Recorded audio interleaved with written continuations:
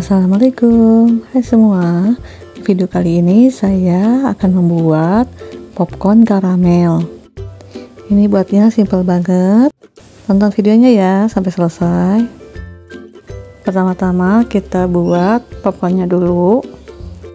Kita buat popcorn tanpa rasa. Tuang 2 sendok makan margarin. Kemudian tuang 1 sendok makan minyak sayur Tuang 6 sendok makan biji popcorn.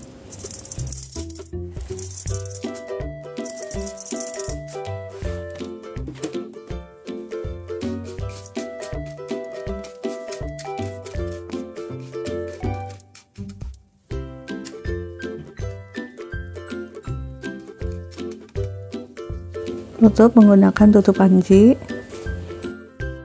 Masak biji popcornnya sampai tidak ada biji yang tersisa. Masak dengan api sedang ya. Nah, untuk membuat karamelnya, tuang 100 gram gula pasir ke dalam wajan. Panaskan menggunakan api kecil. Kalau sudah meleleh, tambahkan 1 sendok makan margarin. Lelehkan margarinnya.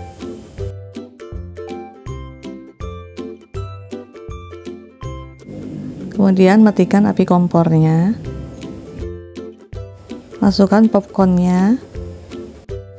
Aduk-aduk sampai popcornnya tercampur dengan karamelnya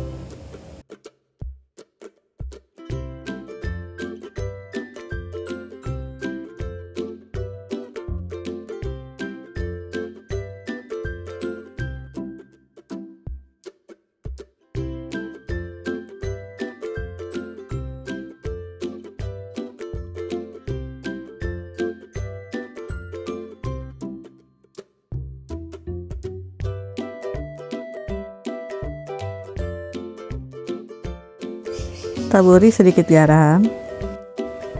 Pisah-pisahkan popcornnya supaya tidak nempel satu sama lain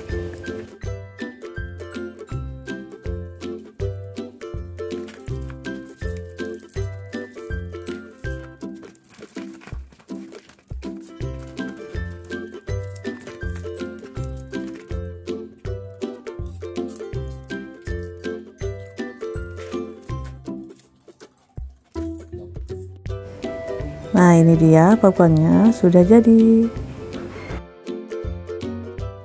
Kalau untuk ide jualan bisa dimasukkan ke dalam kertas popcorn ya. Selamat mencoba ya. Terima kasih yang sudah menonton video saya sampai selesai.